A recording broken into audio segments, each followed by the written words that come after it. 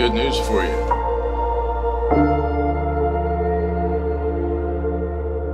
Close up, far away. Close up, far away. Call Zoe, Zion. Zoe. Close up. Come on. Hello. Come on. I wasn't. I wasn't always like this. When I when I was two, I had to get my hands cut off because I was sick.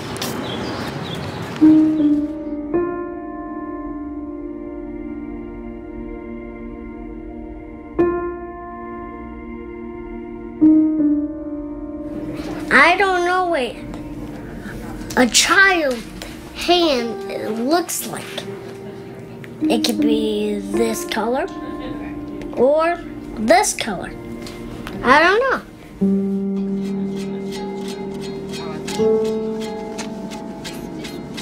You had to make a muscle. Over here. Let me see how strong you are. We have followed Zion for probably about a year and a half now um, and done extensive evaluations to see if he was a good candidate for hand transplant. So, when I get these hands, I will be proud of what hands I get. I will be proud. I will be too. Mm, because they're going to be your new hands. You excited? And if it gets messed up, It's not going to get messed up. I excited? I don't care because I have my family. As far as we know, it's never been even attempted in a child. One of the things that's unique about Zion is that he already had kidney transplants. He's on medication for rejection, and so essentially we could piggyback off of that same medication. Our concerns about doing these hand transplants in anybody is that once you do it, the patient has to stay on lifelong medications so they don't reject. And those medications increase the risk of infection and they also increase your risk of having some cancer develop later on in life. And so for a child, that's a very, very difficult decision.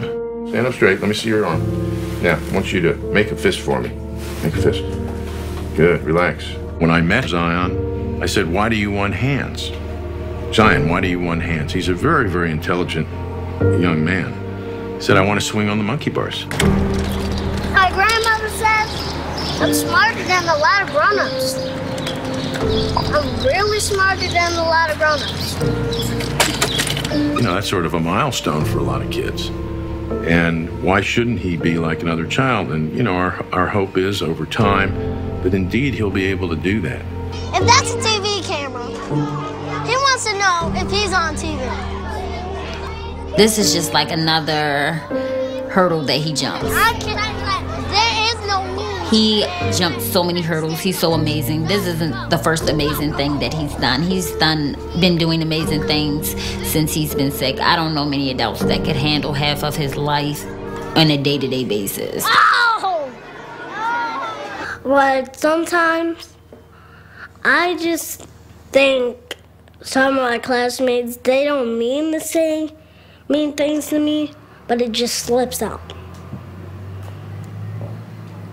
So either either somebody says something to me, and then I just figured it slipped out, and they didn't mean to say it. Everybody has their own way of thinking things.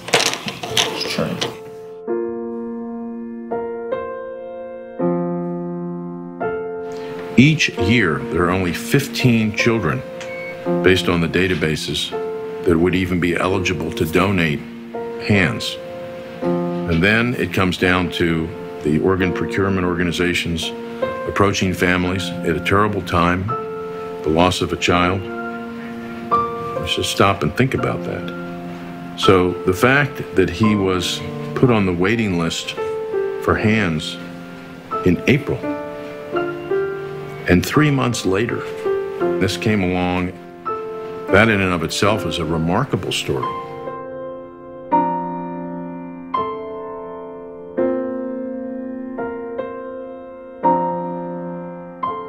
Chrissy called me and she's like, okay, we have a match. I'm like, stop playing, Chrissy. And she's like, no, I'm serious.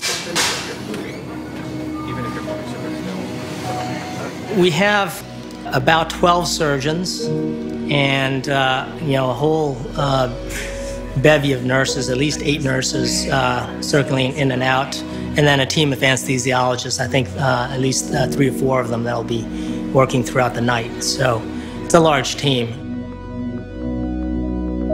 There, there's an expression in surgery preparation is the only shortcut you need. And particularly in surgery and in highly complex operations, um, you know, we prepare.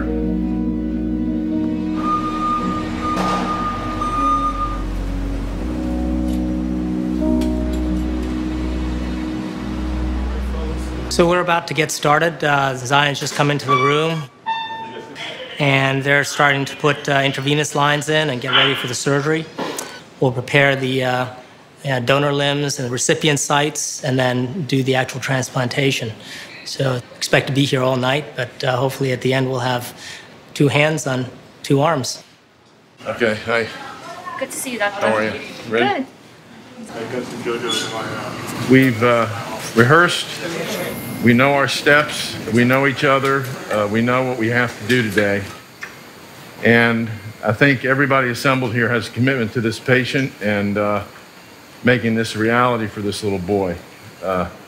We can have uh, complications. Uh, we can fail. Uh, we can have troubles, but we're not planning on it.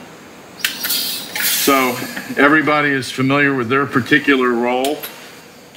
And I just want to say in advance, uh, we'll do our best, and we're all here together.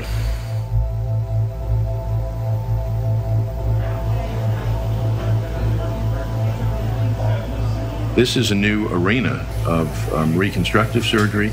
It's a new arena in transplant surgery. Uh, this gives new hope not only to the adults, but particularly children. And there are ethical issues and questions about the implications for that, but uh, that deceased child's hands and expression, if you will, will live on in Zion. And that's a pretty profound thing when you, you think about it.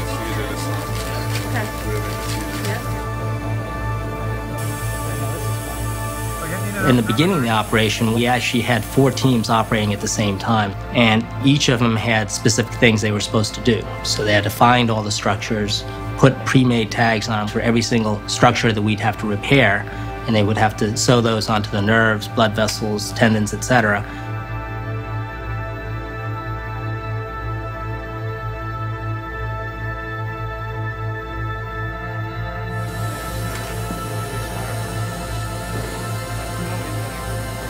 It's one thing to sew adult vessels, which in and of themselves are small and it requires a kind of skill. But the highest echelons of reconstructive microsurgery take place in, in children, small children. And my colleagues who participate in the microvascular aspects of the care are just the best in the world.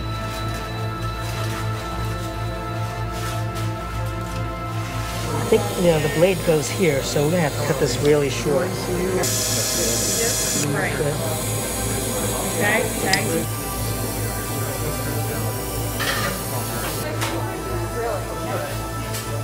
Blood is going across the hook up here.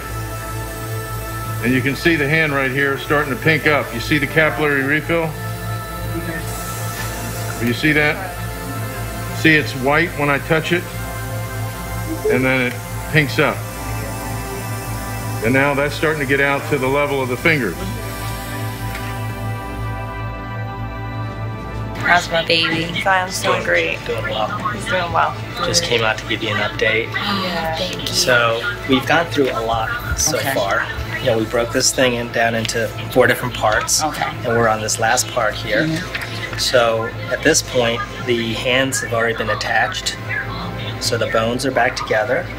And Dr. Levin and the other microsurgeons are working on putting the arteries and veins together. So both. We want to really make sure that this was going to work for our patient and work for a lifetime, not just a year. Uh, for us, this is really not just a technical exercise. It's really trying to, you know, restore a better level of lifetime function for these patients.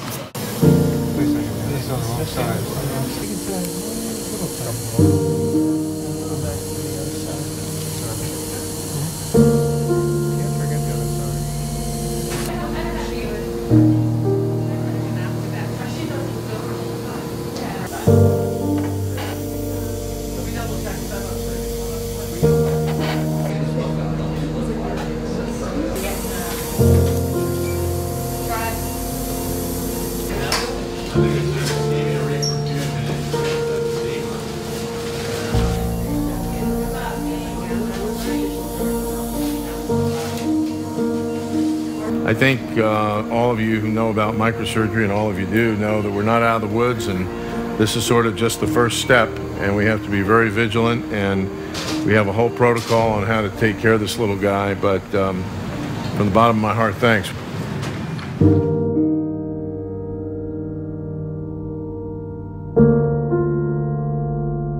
We have some good news for you. Your little guy has two hands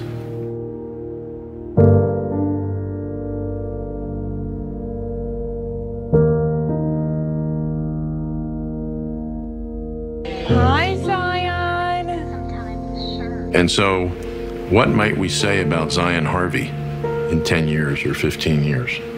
What might we say about this? I hope he's the first of literally hundreds or thousands of patients that are going to be afforded this operation.